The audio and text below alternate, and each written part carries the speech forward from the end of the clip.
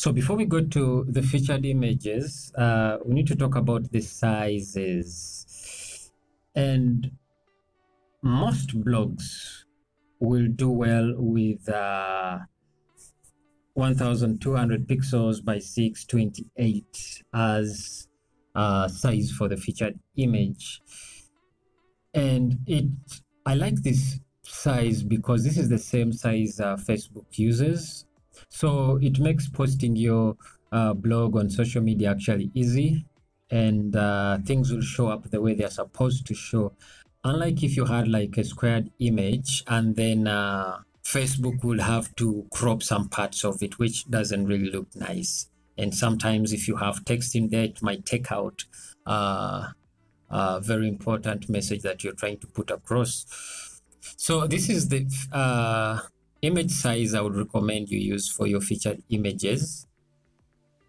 And then there's also optimizing. Now, sometimes we have images that are really, really big in size. Uh, let's see if we to look at that.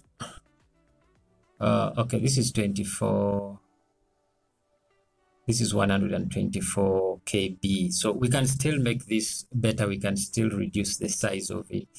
The smaller in size an image is, the faster it helps in uh, loading your page.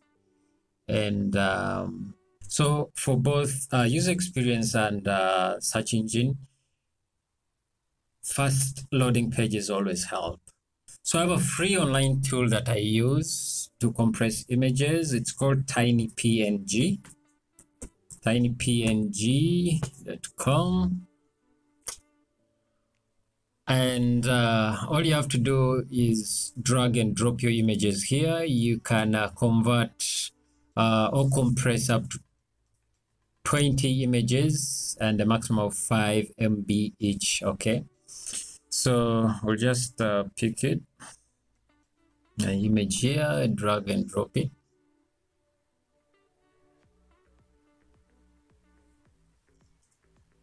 Yes, so as you can see, it compressed from 127 KB to 39 KB. This is nice, and you've saved up to 69%. Let's download it. Okay, download it. So let's give it the blog post name.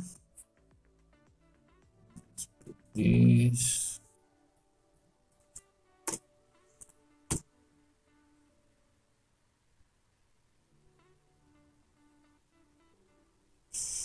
Okay, see how it looks like.